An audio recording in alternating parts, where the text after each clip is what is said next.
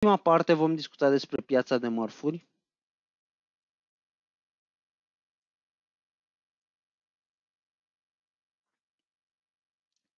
În ceea ce privește petrolul, acesta vedem că a reușit să avanseze către uh, pragul de 53 de, de dolari per baril.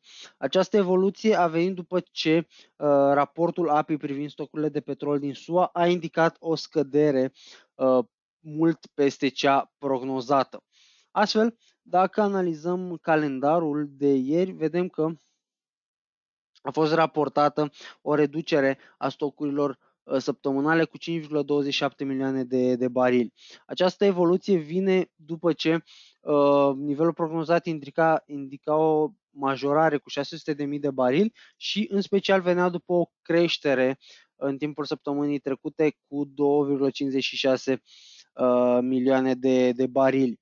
Dacă ar fi să uh, fie confirmate de datele oficiale de astăzi, uh, ar fi raportată a șasea săptămână de scădere a stocurilor din ultimele șapte uh, săptămâni. Prin urmare, vorbim despre uh, o tendință destul de, de bună uh, în ceea ce privește situația pieței petrolului. Pe de altă parte, vedem că secretarul general al OPEC are o abordare și o opinie destul de pozitivă Uh, cu privire la, mm, la perspectivele pentru 2021, uh, declarând că speră ca anul 2021 să fie un an bun pentru piața petrolului.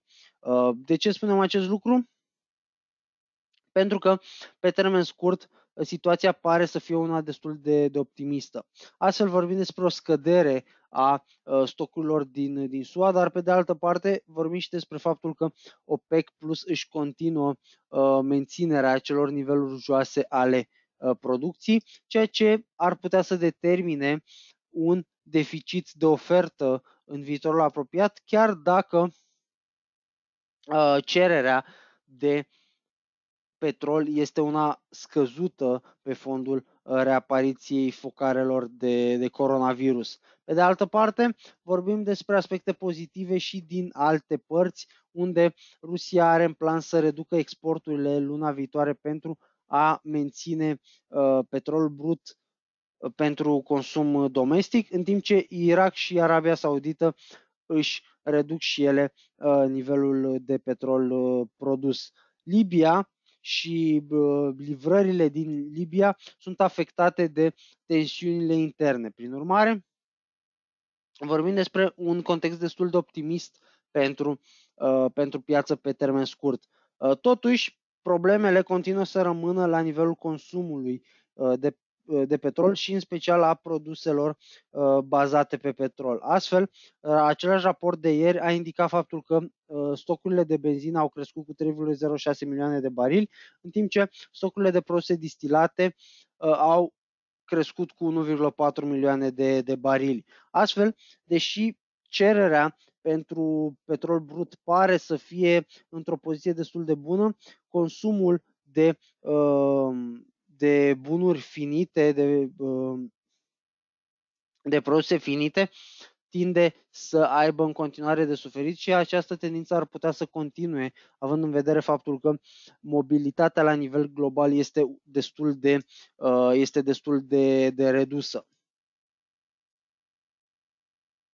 În acest context, vorbim despre uh, potențialul de extindere a mișcării ascendente a uh, petrolului, mai ales dacă ținem cont de faptul că uh, ne aflăm în cadrul unei secvențe ascendente. Vorbim despre o linie, uh, o linie de creștere care ar putea ajuta petrolul să ajungă la niveluri mai, mai ridicate. Un prim nivel de rezistență 53-400, desigur, care vedem că este un vârf local. În ceea ce privește aurul, acesta vedem că a pierdut teren în, la începutul sesiunii de astăzi, înainte de decizia de politică monetară a Rezervei Federale. Um, Pe lângă acest eveniment, atenția investitorilor se orientează și către pachetul de stimulente din, din SUA, unde liderul majorității din Senat, Charles Schumer, a declarat în timpul zilei de marți că uh, un vot privind bugetul ar putea să aibă loc săptămâna viitoare. De ce este important, uh, de ce ar fi important un astfel de eveniment? Pentru că acesta ar putea să reprezinte primul pas în drumul către aprobarea inițiativei legislative de 1900 de miliarde de dolari înaintată de către președintele Joe Biden. Mai mult, uh, Schumer a declarat faptul că Senatul ar putea să uh, aprobe planul lui Biden chiar și uh, fără susținerea, susținerea senatorilor republicani. Uh, prin urmare, vorbim despre posibilitatea ca acest pachet să fie aprobat în ciuda uh, opunerii uh, republicanilor, ceea ce, desigur, reprezintă uh, un uh, um, reprezintă scăderea unui factor de risc pentru uh, investitori. Totuși, în ceea ce privește cererea de petrol uh, fizic, aceasta a avut destul de mult de, de suferit. Vorbim despre faptul că uh, importurile nete de uh, aur din, uh, uh, din China au crescut pentru uh, a doua lună consecutivă în decembrie, uh, dar în același timp vorbim despre faptul că Importurile uh, în termeni anuali au scăzut cu 85% în comparație cu anul trecut, tocmai pe fondul uh, scăderii consumului de uh, metale prețioase în, în timpul pandemiei. În acest context, vedem în continuare un, un factor de risc, dar în același timp și potențial de revenire pentru, uh, uh, pentru aur. Dacă ar fi să ținem cont de situația grafică, aceasta nu, nu ne spune mare lucru. Vedem o ușoară tendință de corecție. Singurele aspecte uh, evidente ar fi faptul că cele două medii mobile, cea de 50 și cea de 200 de perioade, par să se transpună într-un uh, nivel de rezistență destul de, de solid. De ce? Pentru că vedem că uh, au limitat potențialul de creștere al metalului prețios în ultima perioadă și ar putea să-și continue această uh, evoluție și în următoarele uh, în următoarea perioadă. De ce? Pentru că uh, este posibil ca aurul aurului, de fapt, să îi lipsească un catalizator puternic, uh, un uh, un factor care să determine o mișcare mai clară în ceea ce privește uh, situația, iar acest lucru s-ar putea transpune în această evoluție uh, ușor sub uh, mixul dintre cele două medii mobile.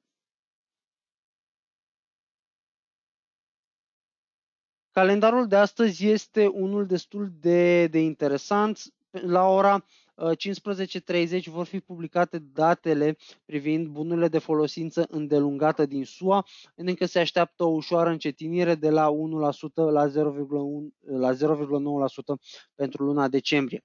Ulterior, la 17.30, stocurile de petrol uh, privind uh, datele privind stocurile de petrol din SUA, vedem că se așteaptă o creștere cu 0,6 uh, milioane de, de barili, nivel uh, identic cu cel Uh, așteptat în cazul API. Prin urmare, am putea să vorbim și de această dată de o surpriză uh, pozitivă pentru, pentru preț. Ulterior, uh, la ora 21 va avea loc decizia Fed privind politica monetară, iar ulterior la 21.30, desigur, va avea loc conferința de presă ulterioară ședinței, Uh, aceasta ar putea să determine un nivel suplimentar de volatilitate.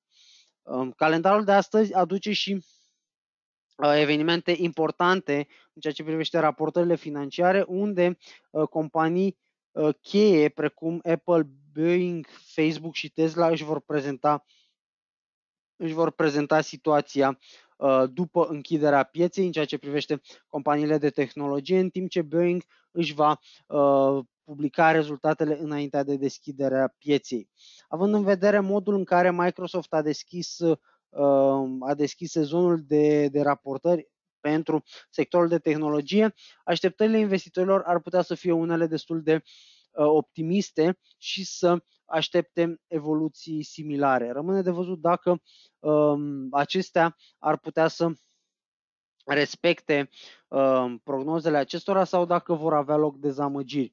Totuși, trebuie să ținem cont de faptul că ponderea lor este foarte mare uh, la nivelul indicilor bursieri, iar acest lucru ar putea să determine un nivel suplimentar de volatilitate, întrucât rezultate peste așteptări pot determina uh, mișcări pozitive semnificative, în timp ce uh, o posibilă dezamăgire ar putea să ducă la ajustări de preț, cel puțin pe, pe termen scurt. Astfel, ne așteaptă o sesiune destul de interesantă care are potențialul să aducă un nivel ridicat de volatilitate. Vă mulțumesc pentru atenție, vă urez o zi excelentă și plină de spor. La revedere!